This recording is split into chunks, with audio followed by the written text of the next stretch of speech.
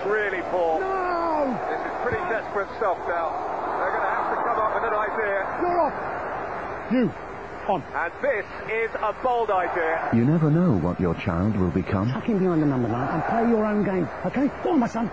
Win it. He's going to give the young man a chance. What a time to come on. Open his child trust fund account with the £250 voucher the government automatically sends him, and you can get the ball rolling. But he's done it! In